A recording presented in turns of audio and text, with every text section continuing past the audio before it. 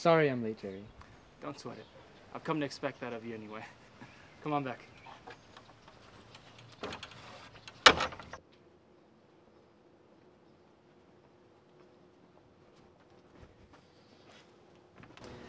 Oh, the weather's so nice. Cut to the chase. What's on your mind? Oh, it's the most wonderful thing. I think I've fallen in love. You? so tell me about her. She's everything I've ever wanted. Sounds typical. No, but I mean it. Remember when I told you I've never felt anything toward a girl? Ah, uh, yeah. We were starting to think you were asexual. Right. Well, with her, I feel something. Not just something, but everything. Describe it. Well, it started in my gut. But I mean deep down in my gut. It's like somebody flipped a switch and all of a sudden there was this electric current pulsing in me. It went all the way down to my toes and then straight up to my head. I started feeling hot and it was getting hard to breathe. I kept on trying to read my book, but I just couldn't stop staring at her. I mean, I just couldn't stop.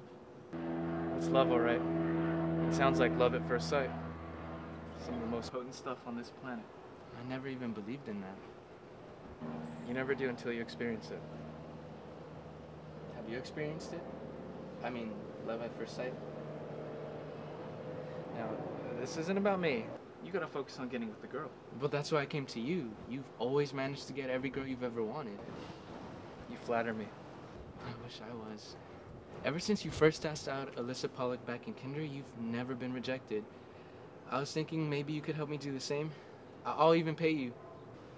Bradley, I'm not gonna take money from a starving college student, especially not from one in love. So then you help me? Of course. Just tell me where and when I can find her. I need to observe her habits from afar to make sure that you say and do all the right things on your first date, which, by the way, should be next Tuesday. That is, unless she's already made plans. Every day at 3 o'clock, she sits under the big oak tree at Conrad Park and reads a book for about an hour. Ah, so she's a scholar. Good for you. Good for you. You deserve a smart girl. She's not just smart, she's beautiful. She's the most beautiful girl I've ever seen. All right, calm down, Romeo. I'll check in with you tomorrow and share my findings. I get out of here. Let me enjoy the rest of my day. Anything for you, Jerry.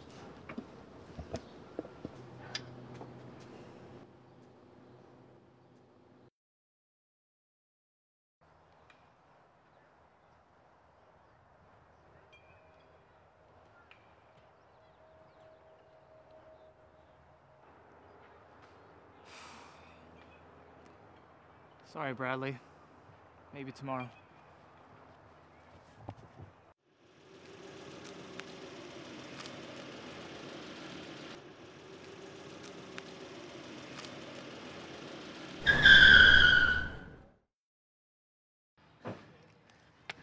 Oh my gosh, are you okay? I'm so sorry. Lady, are you a driver or a kamikaze pilot? I know. I woke up on the wrong side of the bed. I've been late for everything today. Are you all right?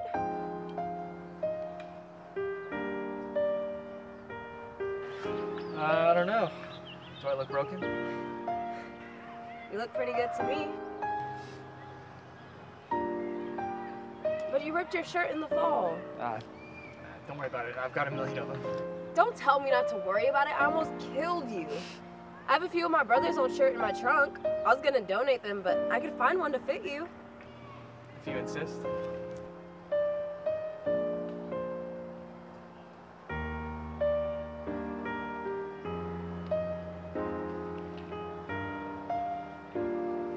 That doesn't look too bad at all. I know. Maybe you should hit me more often. well, I guess this makes us square then. I still feel terrible. You have to let me make it up to you somehow. Uh, don't sweat it. Let me take you out to ice cream or something. Uh, I suppose it would be foolish of me to turn down free food. So meet me at You Scream Ice Cream. I'll try not to hit you on my way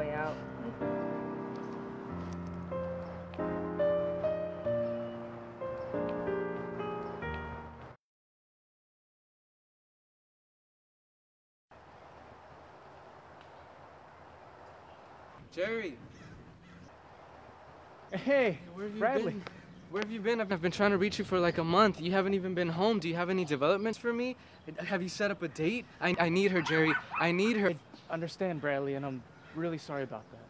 You know I always put friends first. But, well, something came up recently. Something big. What, what sort of something? Remember how you asked me whether or not I had experienced love at first sight? Remember how I told you you need to experience it yourself in order to believe it? Sure, I remember. Well, I felt it for myself. Well, that's amazing. That's wonderful. Tell me all about her. Uh, I'd love to, but I'm actually about to go on a date with her right now. I don't think you want to keep me from that. But listen, I promise I'll get back on your job tomorrow. Does your lady still sit under the tree at Conrad Park? Every day. Good. Then by this time next week, all four of us will be on a double date. Thanks for giving me hope, Jerry. Without your help, I don't know what I'd do. Hang in there, Bradley. Everything's gonna be just fine.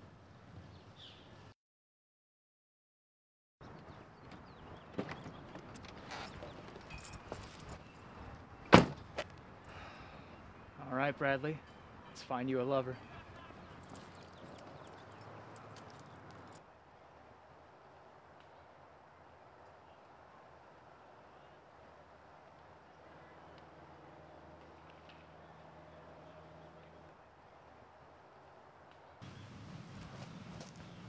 Daphne. Jerry, what are you doing here? Well, I was just about to ask you the same. It's nice of you to surprise me here, but I think you might be interfering with my business. Well, I didn't come to surprise you. Oh no? No. I come here to read almost every day. I've been doing it for years. You mean you always come here? Right here? Right under this tree? Right under the tree in the middle of Conrad Park? Yeah, of course. Why do you look so sick all of a sudden? Uh, never mind that. I have to make a call to a friend. Do it yourself.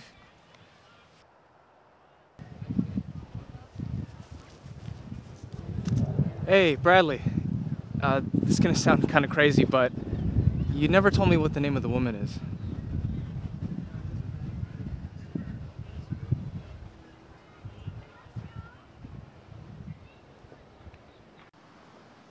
Come on, Jerry. Don't keep me waiting. Tell me all you found out about her. Well, I'll tell you, this Daphne really seems like a great girl. I already know that. But tell me, do I have a chance with her? What lines do I need to say to woo her? I I don't know how to put this lightly. What? Um, what is it? Spit it out. The truth is I don't I don't think you're right for each other. Wouldn't work. I knew it. I knew this would happen. The first girl I feel something toward and it just won't work. Why'd you play me like you could help me? Why'd you give me hope and just pull it from right under me? I wish I would have never told you. I wish I would have never fallen in love. Thanks for nothing. She's already with someone else. You came in too late. I don't know what I'm gonna do, Jerry. I never even believed in love at first sight. I started to not even believe in love. And then she came along.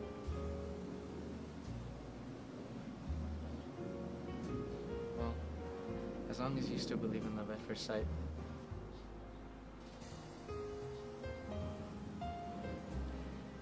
I hope everything works out with you and your girl. Thanks for everything, Jerry.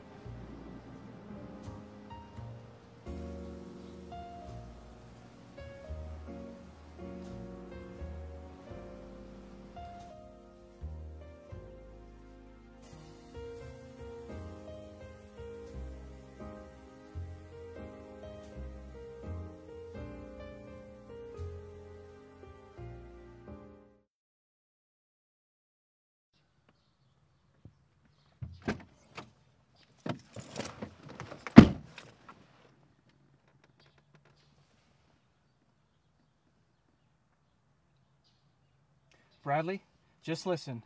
There isn't much time for talking. If you want to have any chance with Daphne, then you'll do just as I say.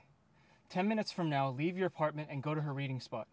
If I've planned everything correctly, she should be right there, and she'll be crying. Go and comfort her. Give her all the love that she needs. It's not much of a chance, but it's something.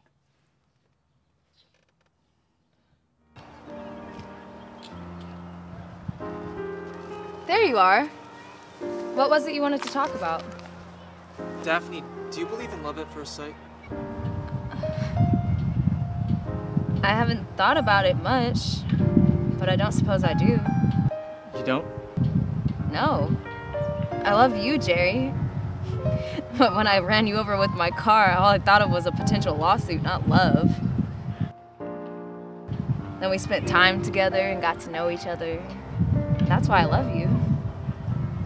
So, if I were to go away, uh, die, or get abducted by aliens or something, do you think you could come to love another man? I suppose so. Why do you ask? Well, Daphne, I've put this off long enough, so I might as well just come out and say it.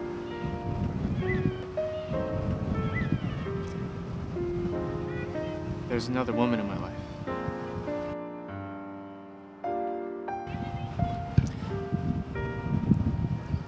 One who I met a long time before you.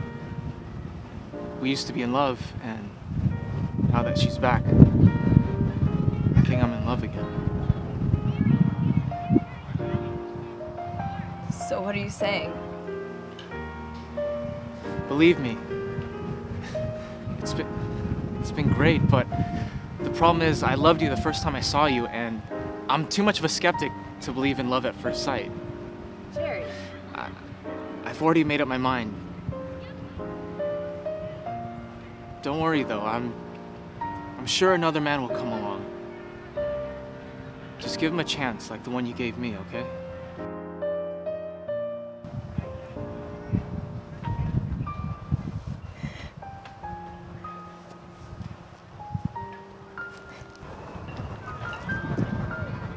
Sorry.